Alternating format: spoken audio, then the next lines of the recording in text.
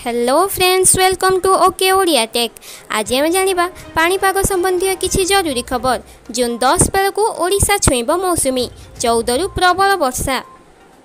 ତେବେ ଏ ବିଷୟରେ ଆମେ ସମ୍ପୂର୍ଣ୍ଣ ତଥ୍ୟ ଜାଣିବା କିନ୍ତୁ ତା ପୂର୍ବରୁ ମୁଁ ସମସ୍ତଙ୍କୁ କହି ରଖୁଛି ଯଦି ଆପଣମାନେ ଆମ ଚ୍ୟାନେଲକୁ ନୂଆ କରି ଆସୁଛନ୍ତି ତ ଏବେ ହିଁ ଓକେ ଓଡ଼ିଆ ଟେକ୍ ଚ୍ୟାନେଲକୁ ସବସ୍କ୍ରାଇବ୍ କରିନିଅନ୍ତୁ ଆଉ ପାଖରେ ଥିବା ବେଲ୍ ଆଇକନ୍କୁ ଦବାଇ ଅଲ୍ ନୋଟିଫିକେସନ୍ ଉପରେ ପ୍ରେସ୍ କରିଦିଅନ୍ତୁ ଫଳରେ ଯାହା ବି ଲାଟେଷ୍ଟ ଇନଫର୍ମେସନ୍ ରହିବ ଆପଣମାନେ ସର୍ବପ୍ରଥମେ ପାଇପାରିବେ।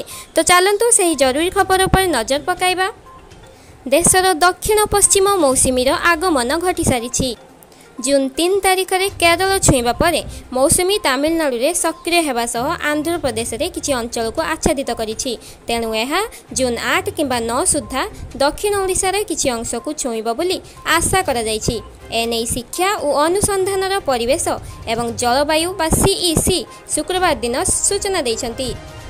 ଆଗାମୀ ଦୁଇରୁ ତିନି ଦିନ ମଧ୍ୟରେ ମୌସୁମୀ ପ୍ରବାହ ଆହୁରି ଅଧିକ ଶକ୍ତିଶାଳୀ ହେବାର ସମ୍ଭାବନା ରହିଛି ଯାହା ଜୁନ୍ ଦଶରୁ ଏଗାରରେ ପଶ୍ଚିମବଙ୍ଗ ଓଡ଼ିଶା ଉପକୂଳରେ ଉତ୍ତର ପଶ୍ଚିମ ବଙ୍ଗୋପସାଗରରେ ଏକ ନିମ୍ନ ଚାପ କ୍ଷେତ୍ର ସୃଷ୍ଟି ହୋଇପାରେ। ଏହା ସମଗ୍ର ଓଡ଼ିଶାର ଦକ୍ଷିଣ ପଶ୍ଚିମ ମୌସୁମୀ ପାଇଁ ପାଗ ଅନୁକୂଳ ରହିବ ବୋଲି ସିଇସି କହିଛନ୍ତି। ମୌସୁମୀ ଧୀରେ ଧୀରେ ଅଧିକ ଘନୀଭୂତ ହେବାର ସମ୍ଭାବନା ରହିଛି ଏହାର ପ୍ରଭାବରେ ଜୁନ୍ ଦଶ ତାରିଖ ରାତିରୁ ବର୍ଷା ହୋଇପାରେ ଏବଂ ରାଜ୍ୟର ଉପକୂଳ ଅଞ୍ଚଳରେ ଜୁନ୍ ଏଗାର ସନ୍ଧ୍ୟାଠାରୁ ବର୍ଷାର ତୀବ୍ରତା ବୃଦ୍ଧି ପାଇପାରେ ଏହା ପ୍ରଭାବରେ ଓଡ଼ିଶା ଏବଂ ପଶ୍ଚିମ ଓଡ଼ିଶାରେ ଜୁନ୍ ଚଉଦ ଆଡ଼କୁ ପ୍ରବଳରୁ ଅତି ପ୍ରବଳ ବର୍ଷା ହେବ ବୋଲି ଏଥିରେ ପୂର୍ବାନୁମାନ କରାଯାଇଛି ମୌସୁମୀ ଧୀରେ ଧୀରେ ଅଧିକ ଘନୀଭୂତ ହେବାର ସମ୍ଭାବନା ରହିଛି ଏହାର ପ୍ରଭାବରେ ଜୁନ୍ ଦଶ ତାରିଖ ରାତିରୁ ବର୍ଷା ହୋଇପାରେ ଏବଂ ରାଜ୍ୟର ଉପକୂଳ ଅଞ୍ଚଳରେ ଜୁନ୍ ଜୁନ୍ ଏଗାର ସନ୍ଧ୍ୟାଠାରୁ ବର୍ଷାର ତୀବ୍ରତା ବୃଦ୍ଧି ପାଇପାରେ।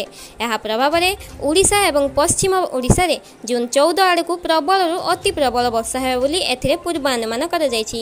Bureau report okay Odia TV.